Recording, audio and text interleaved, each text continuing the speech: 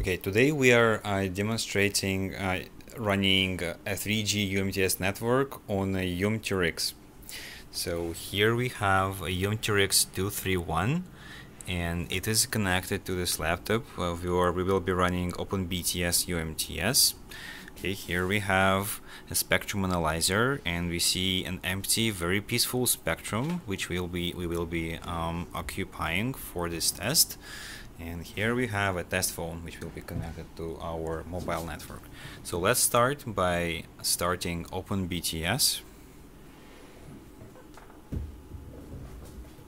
okay you can see that spectrum analyzer shows our spectrum here. Um, UMTRX turned on these two LEDs which show us that it is transmitting and receiving on the first channel. And here we have our test phone. We do search for the networks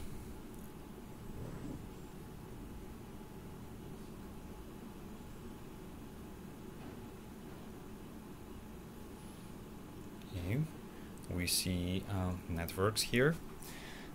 And uh, we can see our uh, mobile phone connecting. You can see authentication security attach accept attach complete.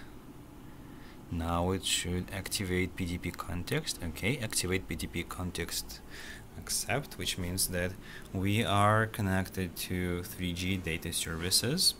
And as we can see in this application it says uh, it is connected to UMTS for data. And uh, now we will be doing a speed test.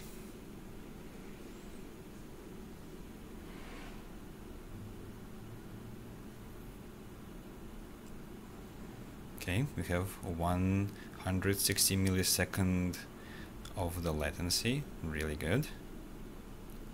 You can see the download speed is consistently 100, 240 250 kilobit per second and really good for 3G network.